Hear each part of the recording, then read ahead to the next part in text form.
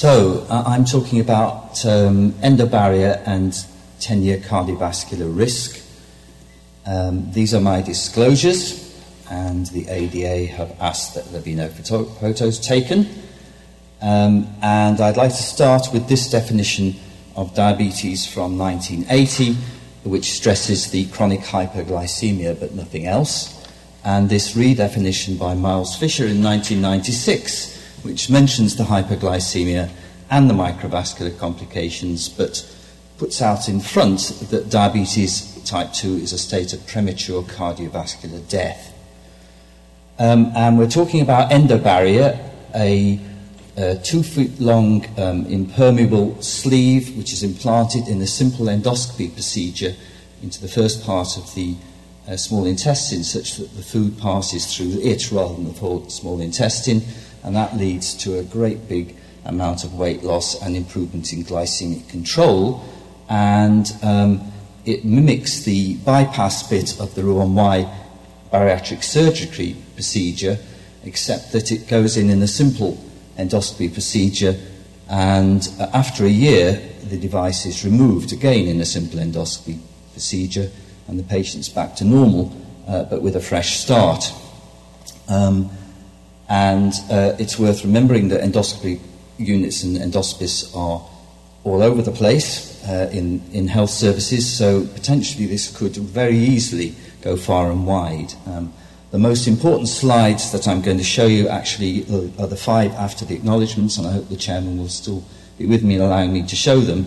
But because this is a scientific me- meeting, we have to have some um, uh, numbers and p values first. Um, uh, this uh, REVISE-Diabesity study is in the National, British National Health Service, um, uh, an NHS uh, supported study in Birmingham, London, and Glasgow.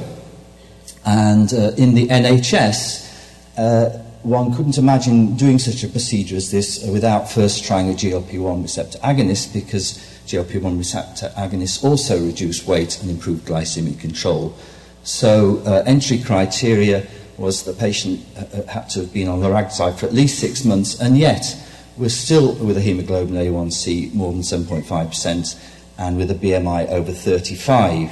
Uh, we had some exclusion criteria, and I particularly draw attention to the fact that if the patient was on aspirin for secondary prevention, uh, they weren't allowed into the study in case the aspirin increased the bleeding risk. Uh, we randomized the 70 patients into uh, adding the endobarrier and continuing the liraglutide. Uh, and I point out that the only dose of liraglutide supported by the British National Health Service is the 1.2 milligram dose, uh, and so that's what the patients had. Uh, in an, another group, we discontinued the liraglutide and gave an endobarrier, and then uh, by way of compensation for the third group who didn't get an endobarrier, we were allowed them to have the 1.8 milligram dose of liraglutide. Uh, all the patients had the standard two-week liquid then puree diet, which allows the endobarrier to settle into place. And the results I'm showing here are the results after one year of this two-year study, uh, and the last data from the end of the first year became available in April of this year. And uh, the baseline characteristics of the patients, they were over 50, uh, they had a long duration of diabetes, over 10 years, a lot of hypertensive patients, a lot of them on insulin. BMI was over 40, and the hemoglobin A1C about 9.5%. So a very overweight, poorly controlled group of patients. Uh, and these are the headline results which were presented at ENDO 2016. Um, uh, and uh, you, the blue is the endobarrier and the yellow just the endobarrier, and the brown the 1.8 milligram dose of liraglutide. And you can see both the endobarrier groups lost a lot of weight, 11 or 12 kilograms, but it was really the endobarrier and liraglutide group that got the big drop in hemoglobin A1C, 2.1%. So to some extent, henceforth, that is our group of most interest. In a subgroup, in a sub-study, we looked at liver fat using MRI scanning, uh, and this baseline the difference between these two MRI scans that you can see clearly is because of the amount of fat, And four months after endobarrier, you can see the difference has disappeared, which indicates that the fat has gone out of the liver. Uh, and these are the actual measurements, a tremendous reduction in liver fat because of the weight loss. And these are the actual figures, both the reduction in hepatic fat, uh, big significant, and pancreatic fat. Um, this is not a new observation with big weight loss. Uh, uh, Roy Taylor's group in Newcastle, in their landmark paper in 2011, showed the same thing. Uh, uh, I'd like to suggest that it doesn't take much imagination, however, to think that with all this fat going out of the liver and pancreas, maybe fat is also going out of the coronary arteries and carotid arteries uh, with this big weight loss. Uh, we would need a big leader type study or EMPA-REG study to demonstrate, uh, of course, that the cardiovascular outcomes were, were greatly reduced, uh, which we aren't going to get. But perhaps as a poor man's version, um, we can use the risk calculators. In the United Kingdom, the Q-RISK-2 is widely used in primary care.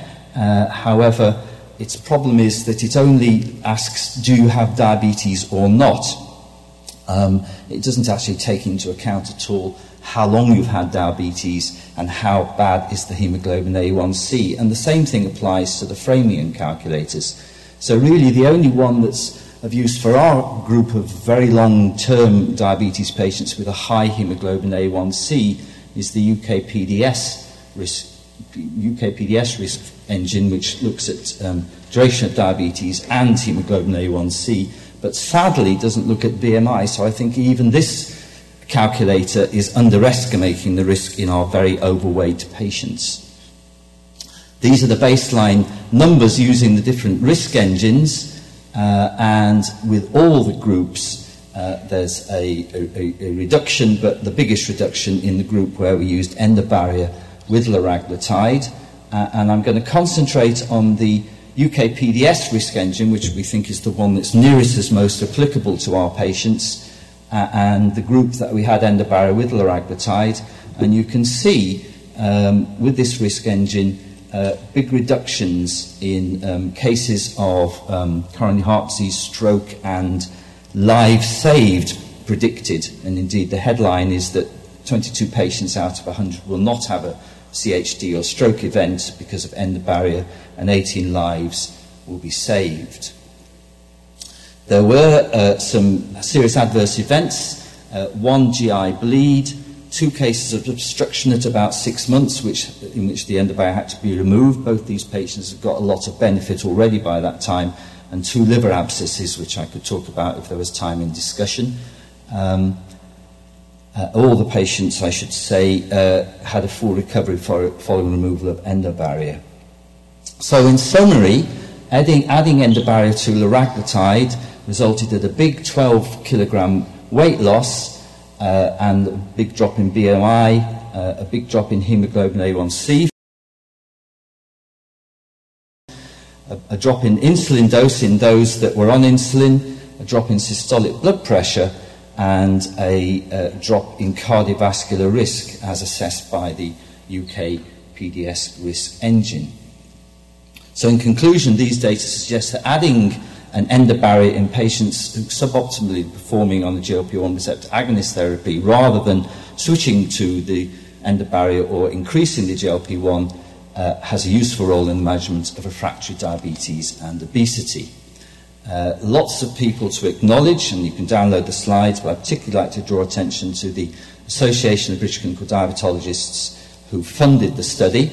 And I'd like to end up with um, some actual patients um, from the study and who've had endobarriers, uh, who I think speak volumes. And to some extent, if we take this patient with his uh, initial hemoglobin A1C and his end hemoglobin A1C, I've translated the weight loss into uh, American units, a 48 pound at weight loss. But if, you, if we look at this compared to that, do we need a leader study to tell us that this patient is heading for a stroke or a heart attack and death in the not too distant future, uh, whereas maybe now, you know, he has a much reduced chance of those problems, this man in his early 60s. Here's another such case. You can see the same, a big reduction in hemoglobin A1C and weight, uh, and, and notably in this patient, he was on 100 units of insulin and he no longer needs insulin. This lady here uh, had obstructive sleep apnea requiring CPAP ventilation overnight, and after her big weight loss and improvement in hemoglobin A1C, she no longer requires CPAP. This gentleman here actually had interstitial lung disease and had to carry around ambulatory oxygen all through his days. Uh, and after the weight loss, he no longer needed the ambulatory oxygen uh, and he no longer needed insulin either. And finally, this lady here uh, went from a obese BMI to normal BMI uh, with endo- endobarrier treatment. Um, in the wake of our one year data, the, the British Broadcasting did a news item, and you can find it on YouTube by typing in ABCD and endobarrier. And this is the BBC News reporter uh, looking inside the shirt that this man used to wear and commenting that you could get another person in there.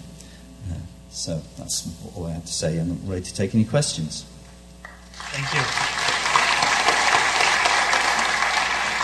So keep things on track. Uh, we have time for one question only.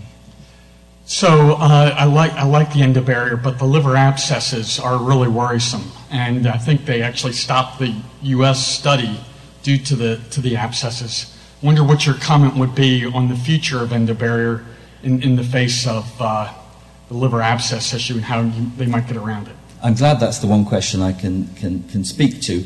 Uh, the things to say about liver abscess is that for some reason it's, they occurred on a grand scale in the FDA trial, but it hasn't been the experience of us around the world uh, on to the same extent. If I can share with you this, what this patient that we had in our study, this is her liver abscess. She didn't have antibiotic cover for the implantation, and the abscess occurred at six weeks. And we'd like to suggest that if she'd had antibiotic cover for the implantation, she may not have got it.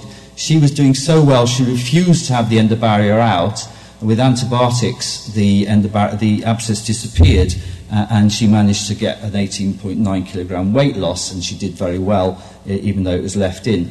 This gentleman here, I think, um, says a lot. Uh, he refused, he, he failed to turn up to have his endobarrier out at one year, and he got his liver abscess two and a half months later, um, and uh, it was drained uh, uh, and uh, um, he, he treated with antibiotics and he was okay. But uh, two of the uh, FDA liver abscesses occurred after explantation.